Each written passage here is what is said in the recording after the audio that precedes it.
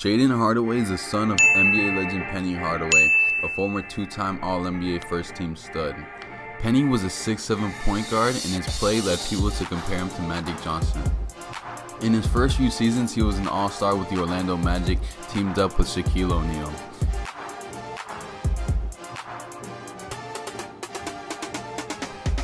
Injuries began to plague him, however, and he lost his effectiveness as a star.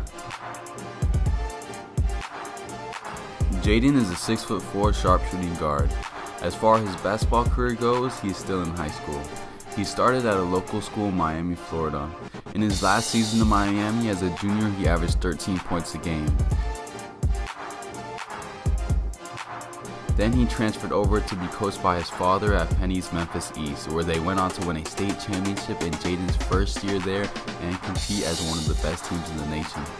Jayden has now reclassed and is transferring to powerhouse IMG Academy in Florida. Jason also played on the elite Nike EYBL circuit for Team Penny, and Jayden has interest from D1 colleges like Memphis and Ole Miss and other D2 interests. However, since he's still young, his reclassification and going to IMG Academy might be a good look for him as he will be playing alongside the top ranked players in the country. So, how does an NBA star son get so overlooked? Well, while his dad was a huge star in Memphis and a local icon, he was also the best player ever to come out the city of Memphis. And Jayden, however, wasn't raised in Memphis, so he never had the hype surrounding him. In Miami, people knew about Penny Hardaway but no one really knew his son lived in Miami or played there.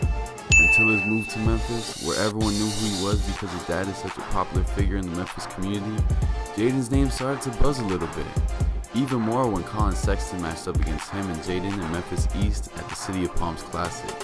The young bull went on to talk trash to Penny about his son, and it was at that point where everyone started to look up and keep a tab on Jayden. As for the rest of his story, you have to be subscribed for later updates on Jayden Hardaway. Let's try to get this video to 700 likes. I'm Hoop Journey, and I'm out.